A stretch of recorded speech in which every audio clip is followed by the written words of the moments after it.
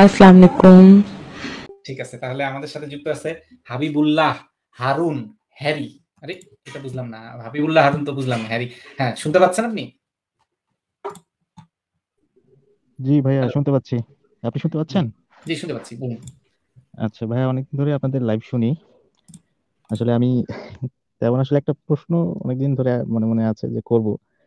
আহ, বিষয়টা হচ্ছে এরকম যে আপনারা আহ, মানে এটাকে কি বলে? যে বিশ্বাস জিনিসটা তো আসলে এটা আপনারা বিশ্বাস করেন না বা এটা মানে করেন না বলতে হচ্ছে যুক্তি এবং প্রমাণের প্রমাণের উপর আসলে বেশি নির্ভর করেন। সেটা ভালো। এটা আমিও আসলে আপনাদের সাথে একমত। আসলে প্রমাণ জিনিসটা আসলে অনেক কিছুর উপরে নির্ভর করে বা এটা দিয়ে আমরা অনেক কিছু জাস্টিফাই করতে পারি বর্তমানে বিজ্ঞানের প্রেক্ষাপটে। বাট ভাই, ভাগ্যর বিষয়টা আপনারা কীভাবে দেখেন? যেটা আমাকে একটু বলেন। ভাগ্যর যেমন বলতে আমি যেটা বোঝাচ্ছি যে ধরেন দুইজন, দুইটা টিমের মধ্যে যখন ক্রিকেট ম্যাচ হয় সো স্বাভাবিকভাবে তখন আসলে যে টসটা হয় টসের মধ্যে হয় না যে কোন দল আগে ব্যাট করবে বল করবে সে দল আগে ব্যাট করে বল করে। ইভেন পরবর্তীতে দেখা যায় যে, তাদের অনেকটা ঐক্য প্রচেষ্টার মাধ্যমে আসলে ম্যাচ টেনে বের করে নিয়ে আসে। সো এটা আসলে অনেকটা, আমি যেটা মনে করি যে, সেটা ভাগ্যের উপর নির্ভর করে ছেড়ে দেওয়া হয়। তো সেক্ষেত্রে এখানে তো আসলে যুক্তি বা প্রমাণটা কি তেমন খুব একটা বেশি কাজে আসে কিনা? আসলে এটা যদি আপনি ভাই আমি বুঝলাম না। কিছু টসে ভাগ্যের কথা বলতেছেন? না টস টসের বিষয়টা আসলে বাদ দিন না না আসলে ক্রিকেট খেলা বা যে কোনো খেলা বুঝিনি। আপনার কথাটার সাথে একটু লিংক করে দেন। আপনি বলতে চাচ্ছেন টস করে তো ভাগ্যের উপর ছেড়ে দিয়ে টস করে তারপরে টসের উপর নির্ভর করে খেলতেছে এটা বলতেছেন নাকি? হ্যাঁ না না। একটু বুঝিয়ে বলুন প্লিজ টস আচ্ছা আচ্ছা টস টসের বিষয়টা বাদ দিলাম ভাই। আসলে আমার আমার নিজেরই বলতে ভুল হয়েছে। এটা হচ্ছে দুইটা টিম যখন আসলে খেলে সেক্ষেত্রে অনেক সময় দেখা যায় যে ভাগ্যের উপর ছেড়ে দিতে হয় যে আসলে কোন দলটা জিতবে কোন দলটা হারবে। এটা আসলে খেলার স্ট্যাটিস্টিক্স বা সবকিছু মিলিয়ে তখন আসলে বোঝা যায় যে শেষের দিকে কি হবে না হবে। এক্ষেত্রে আসলে প্রমাণটা কি তেমন খুব একটা বেশি কাজে আসে কিনা বা এটা সম্পর্কে ভাই ভাই ভাই ভাই ভাই ভাই গেম স্ট্যাটিস্টিক্স এর উপর ভিত্তি করে গেম হয়। মানে আমি না এটা সত্যি আমার মাথার উপর দিয়ে যাচ্ছে। মানে ধরেন ধরেন বাংলাদেশ অস্ট্রেলিয়ার কাছে প্রতিদিন হারে কিন্তু কিন্তু একদিন মানে ধরেন গত দশটা ম্যাচেই হারছে অস্ট্রেলিয়ার কাছে। তাহলে আজকে বাংলাদেশ অস্ট্রেলিয়ার ম্যাচ হচ্ছে। আজকে তাহলে কি স্ট্যাটিস্টিক্স এর উপর ভিত্তি করে আমরা দেখব যে বাংলাদেশ আবার হারবে নাকি? এটাই এটাই বলতে চাচ্ছেন এরকম কিছু? এটা আসলে ওই যে হ্যাঁ এটা অনেকটা এরকম তাই বলতে না এটা স্ট্যাটিস্টিক্স যেটা দেখি আমরা সেটা তো দেখি অতীতের।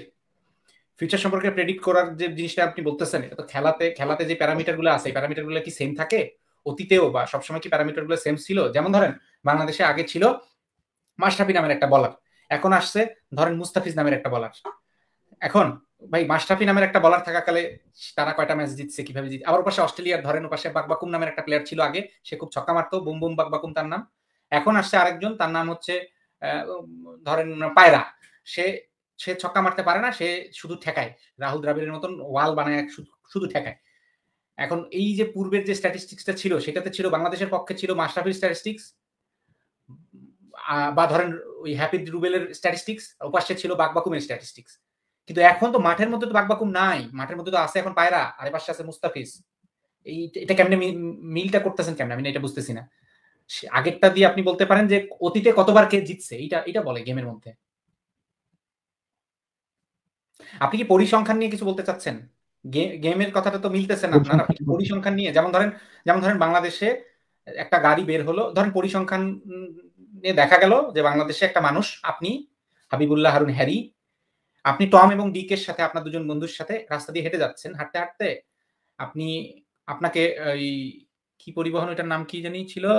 ভুলে গেলাম। যাই হোক ধরেন পরিবহনটার নামটাই ভুলে। জাবালেনুর পরিবহনের একটা ইয়ে এসে আপনাকে অ্যাক্সিডেন্ট করে মেরে ফেলবে। এটা সম্ভাবনা ধরে নিলাম আমরা শূন্য দশমিক শূন্য শূন্য তিন শতাংশ। এটা সম্ভাবনা। কেন? এটা কীভাবে বের করছে? কারণ দেখা গেছে এর আগে আপনার মতো তিনজন এরকম আরও যারা হাঁটাহাঁটি করছিল তারা সেম ভাবেই এইভাবে অ্যাক্সিডেন্টের শিকার হয়েছিল হয়ে তারা ই করছে।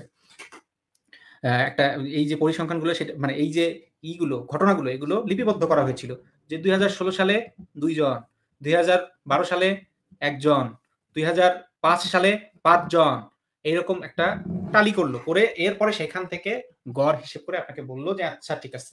যেহেতু বছরের এই সময়টাতে এই জায়গাতে এতজন মানুষ হচ্ছে ইয়ের শিকার হয় অ্যাক্সিডেন্টের শিকার হয় এবং এখান দিয়ে এতজন মানুষ হাঁটাচলা করে আর আপনাদের সংখ্যা হচ্ছে তিন, টম, ডিক অ্যান্ড হ্যারি। তখন বলল যে, ঠিক আছে, আপনাদের তাহলে এইভাবে ধরেন আমরা কোনোভাবে সাম হাও আমরা এইভাবে বের করে ফেললাম আপনার অ্যাক্সিডেন্টের শিকার হওয়ার সম্ভাবনা দশমিক শূন্য শূন্য তিন পার্সেন্ট আপনি আমাকে কি এটা বলতে চাচ্ছেন যে, যেহেতু এই সম্ভাবনাটা এইটা এইটার উপরই নির্ভর করবে আপনার পরবর্তীতে কি ঘটতেছে। সেটাই বলতে চাচ্ছেন আপনি আমাকে? আসলে ভাইয়া হয়তো আমি এই প্রশ্নটা গুলাই ফেলছি। ফার্স্ট টাইম অ্যাড হয়েছি তো। তো আসলে ওইভাবে ভালো মতো কোশ্চেনটা বলতে পারতেছি না। রেডি করেছি। প্রশ্ন আপনি ঠিকই বলছেন। প্রশ্ন আপনি ঠিকই বলছেন কিন্তু আপনি ওই জিনিসটা অ্যাডমিট করতেছেন না মুখে। আপনি মুখে অ্যাডমিট করেন। আপনি কি এটা বলতে আমি আমি তো আপনাকে ই করতেছি হেল্প করতেছি কোঅপারেট করতেছি। আপনি দেখেন চেষ্টা করে। আমি যেটা বুঝতে চাচ্ছি যে আপনি কি বলতে চাচ্ছেন পরিসংখ্যানটাই ফিউচারটাকে নির্ধারণ করে দেয়। এরকম কিছুই বলতে চাচ্ছেন? এক লাইনে বললে?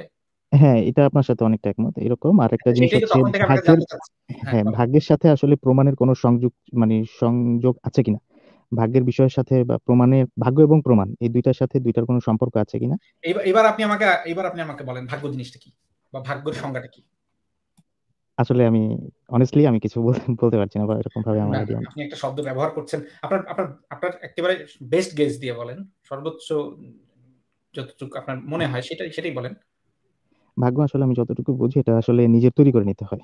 ভাগ্য বা অপরচুনিটি সুযোগ এই জিনিসগুলা মানে এটা আমার গেজ আর কি যে এটা কেউ কাউকে তৈরি করে দেয় না এটা আসলে নিজের নিজের অবস্থান থেকে নিজে থেকে বললেন ভাগ্য কীভাবে তৈরি করতে আমার প্রশ্নটা ছিল ভাগ্য জিনিসটা আসলে কি?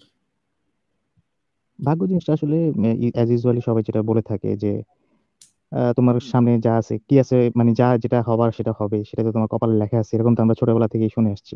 বা অনেক জ্যোতিষীরা তো হাত দেখে বলে যে না অমুক হবে তমুক হবে। যদিও আমি এরকম টাইপের কোনো কিছুতে বিশ্বাসী না। না না আপনি আপনি তো সাথে একটা করে কমেন্ট যুক্ত করে দিচ্ছেন। আমি আসলে কমেন্টগুলো চাচ্ছিলাম না আমি আসলে চাচ্ছিলাম জানতে ভাগ্য জিনিসটা আসলে কি? আমি জাস্ট এটুকুই শুধুমাত্র বুঝতে চেষ্টা করতে চাচ্ছিলাম যে আপনি ভাগ্য জিনিসটার সংজ্ঞাটা কীভাবে দিচ্ছেন? কারণ সেটা যদি না বুঝি তাহলে আমি তো আমাকে কি করতে হবে? প্রচলিত ভাগ্য বলতে কি বোঝায় সেটার সাথে আমি হিসেবে আমি একটা চাইলেই তো একটা ডায়লগ একটা মেরে দিতেই পারি। একটা কথা বলতে তো আর পয়সা লাগতেছে না এখানে। কিন্তু আমি চাচ্ছিলাম আপনি ভাগ্য বলতে কি বুঝেন সেটা দিয়ে আপনাকে বোঝাতে চাচ্ছিলাম। ঠিক আছে? আপনি যদি ভাগ্য জিনিসটা বলতে কি আপনি এটা বোঝাতে চাচ্ছেন? সবাই যেভাবে মনে করে যে ফিক্সড করা কোনো একটা কিছু। রাইট রাইট আগে থেকে ঠিক করা। হ্যাঁ তো আগে থেকে ঠিক করা এই জিনিসটার সাথে আসলে পরিসংখ্যানের কোনো সাথ নেই। কারণ হচ্ছে পরিসংখ্যান জিনিসটা আসলে এখানে মানে কাজ করবে না ওইভাবে। আপনার তো আগে থেকে যদি ঠিক করা থাকে যে আজকে বাংলাদেশ ছয় বলে পাঁচটা ছক্কা মারবে মেরে অস্ট্রেলিয়াকে হারাই দিবে। তাহলে গত দশ ম্যাচেও যদি গু হারা হেরে থাকে বাংলাদেশ তা আজকে জিতবেই কারণ ভাগ্যে লেখা আছে। তো পরিসংখ্যান তো সেখানে তাহলে আসলে কোনো কিছু মিন করে না তাই না? পরিসংখ্যান হ্যাঁ হ্যাঁ ভাই সরি হুম বলেন আপনি বলেন। পরিসংখ্যানের বিষয়টা কেন বললাম? কারণ যখন হচ্ছে কোন দলের স্ট্র্যাটেজি সম্পর্কে জানতে হয় যেমন বিশেষ করে যখন আমরা এই খেলার মাঝে যখন দেখি যে তারা আলোচনা করে একটা ইনিংস শেষ হয়ে যাওয়ার পরে যে বা ইনিংসটা কোন ইনিংস শুরু হয় ম্যাচ শুরু হওয়ার আগে যে এই ইনিংসে এই দলে এই বোলারটা ভালো করছে বা হচ্ছে এরা এইভাবে এভাবে খেলছে বা ফিল্ড প্ল্যান বা সেট আপ যেটা হ্যাঁ কীভাবে সাজাবে না সাজাবে এটার উপর অনেকটা ডিপেন্ড করে যে একটা ম্যাচ কীভাবে ঘুরতে পারে। সো ওইটা ওইটার সাথে আসলে আমি রিলেট করতে যাচ্ছিলাম। তাহলে ওইটার সাথে তো ভাগ্যটা কনফ্লিক্ট করল সরাসরি। কারণ ভাগ্য বলতে যদি কিছু থাকে বা এটাকে যদি ভাগ্য বলেন পূর্ব নির্ধারিত বলেন তাহলে তো আমি আর বোলিং ব্যাটিং ফিক্সড করলাম না। আমি কি করলাম? বিসমিল্লা বলে বা হরে কৃষ্ণ বলে আমি শুরু করলাম। বলে টলে গিয়ে মাঠে নেমে পড়লাম। সবাই বললাম এই তোরা যার যেখানে খুশি দাঁড়িয়ে যা। তারপরে বললাম এই তোরা যার মন চাচ্ছে এসে বোলিং কর। এই তোরা যার মনে চাচ্ছে যা ব্যাট ব্যাট কর। এই তোদের যেদিকে মন চায় সেদিকে দৌড় দিয়ে রান নে। গল্প কর। তো এগুলা করতাম আমরা তাই না? ভাগ্য বলতে যদি কিছু থাকতো। আমরা কি করতাম কিন্তু আপনি যেটা বললেন সেটা কি করলেন আপনি কি বললেন? প্রিপারেশন নেয় যে আচ্ছা এই প্লেয়ারটাকে দেখা গেছে যে এই প্লেয়ারটা এই পজিশনে থেকে কি করে? ক্যাচ ধরতে পারে ভালো। তাহলে তখন তারা কি প্ল্যান করে? ভাই, যে দিক দিয়ে এই বল মারিস কেন, ওই দিক দিয়ে মারবি না। কারণ ওই বেটা লাফাইয়া ধরে ফেলবে। জন্টি রোডস, হাইওয়ে, সে ধরে ফেলবে বল। তখন কি করবে? জন্টি রোডসের আশপাশ দিয়ে বল মারবে না। বল মারবে কোন দিক দিয়ে? দরকার হলে কাত কুত একশো ডিগ্রি ঘুরে একশো আশি ডিগ্রি ঘুরে উল্টা পাশ দিয়ে বল মারবে তা ওই পাশ দিয়ে বল মারবেই না। কেন? ওই পাশে বসে আছে কারেন্ট জাল নিয়ে। গেলেই বল আটকায় ফেলবে। লাফায়া ক্যাচ ধরবে ঘুরে ক্যাচ ধরবে, উল্টা হয়ে ক্যাচ ধরবে, চোখ বন্ধ করে ক্যাচ ধরবে, স্বপ্নে ক্যাচ ধরবে। তো এই যে প্রিপারেশন আপনি নিচ্ছেন, এটা তো আপনার যে ভাগ্যের কথা বললেন সেটার সাথে কনফ্লিক্ট করল না সরাসরি? হ্যাঁ হ্যাঁ রাইট আপনি রাইট বলছেন ঠিক আছে। আর পূর্ব নির্ধারিত কথা যদি বলেন তাহলে ব্যাপারটা হচ্ছে আপনি এই মুহূর্তে আপনি এই মুহূর্তে যদি লাইনটা কেটে দেওয়ার চেষ্টা করেন আমি যদি হাজারো চেষ্টা করি আপনাকে এখানে আটকায় রাখতে আমার পক্ষে তো রাখা সম্ভব না। এবং এই ডিসিশনটা তো আপনিই নিলেন শুধুমাত্র। ডিসিশনটা একমাত্র আপনিই নিলেন। এখন যদি আপনি বলেন যে সবকিছুই পূর্ব নির্ধারিত এই যে আপনি যে ডিসিশনটা নিচ্ছেন এটা আসলে আগে থেকেই ঠিক করা। তখন একটা সমস্যা দাঁড়ায়। সমস্যাটা হচ্ছে কি, এই কথাগুলো বলে একটা খুনি পার পেয়ে যাবে। একটা একটা লোক, ধরেন আপনাকে একজন এসে, মুমিন এসে থাপ্পড় মারলো, একটা হিন্দু ভাই এসে মন্দিরের মধ্যে সে একটা পাঠা বলি দিয়ে এসে আপনার গালের মধ্যে একটা থাপ্পড় মারলো, মেরে বলল, আমার মা কালী কইছে এটা করতে। আমি কিচ্ছু করি না, আমার কোনো দোষ নেই। অথবা একটা মাদ্রাসার হুজুর, সে কি করল, একটা পাঁচ বছরের একটা বাচ্চাকে ধর্ষণ করে ধরে বলল, আমার শয়তানি করাইছে, আমি করিনি, এগুলো আমি করিনি, এগুলো ভাগ্যে নির্ধারণ করা।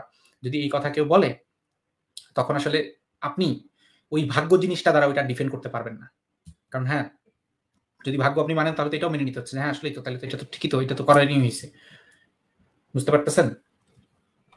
হ্যাঁ হ্যাঁ ভাই বুঝতে পারছি। কিন্তু আমার আসলে মানে আপনাদের পয়েন্ট অফ ভিউ থেকে যেটা জানতে চাচ্ছিলাম সেটা হচ্ছে যে ভাগ্যটাকে আপনারা কোন পার্সপেক্টিভ থেকে দেখেন কোন পার্সপেক্টিভ থেকে কোন পার্সপেক্টিভ থেকেই দেখি না ভাগ্য শব্দটাকেই আমরা আসলে মাথায় রাখি না কখনো। আচ্ছা আচ্ছা আপস এন্ড ডাউনস আমাদেরও জীবনে আসে। আমরাও অনেক সময় অনেক কষ্টে থাকি অনেক সময় অনেক সুখে থাকি। জিন্দগিতে কোনোদিন মনে হয় না যে কেউ আসলে উপর থেকে কলকাঠি নাড়ায় আমার এই অবস্থা করছে।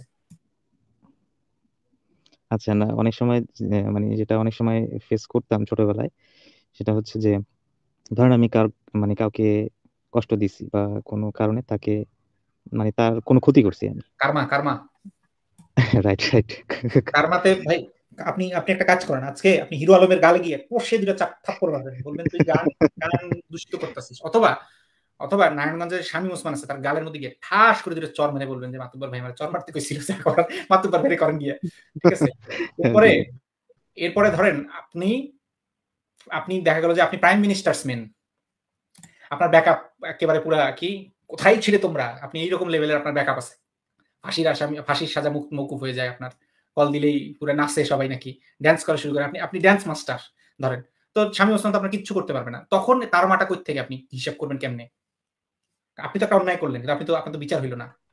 না এটা ঠিক আছে কিন্তু আমি বলতে যাচ্ছিলাম যে মানে আচ্ছা ভাই আমার মনে হয় যে এই বিষয়টা যথেষ্ট আলাপ হয়েছে আসলে মানে মনে হচ্ছে একই কথা বারবার বারবার বলা হচ্ছে। রিপিট হয়ে যাচ্ছে হ্যাঁ। আচ্ছা যাক সমস্যা নেই আমি তাহলে বিদায় নিচ্ছি ভাই ভালো থাকবেন। মাতুবর ভাই ভালো থাকবেন ভাই ঠিক আছে হ্যারি ভাই ভালো থাকবেন। আপনার বন্ধু টমডিক ওদের জন্য শুভকামনা রইল। শুভরাত্রি। আচ্ছা।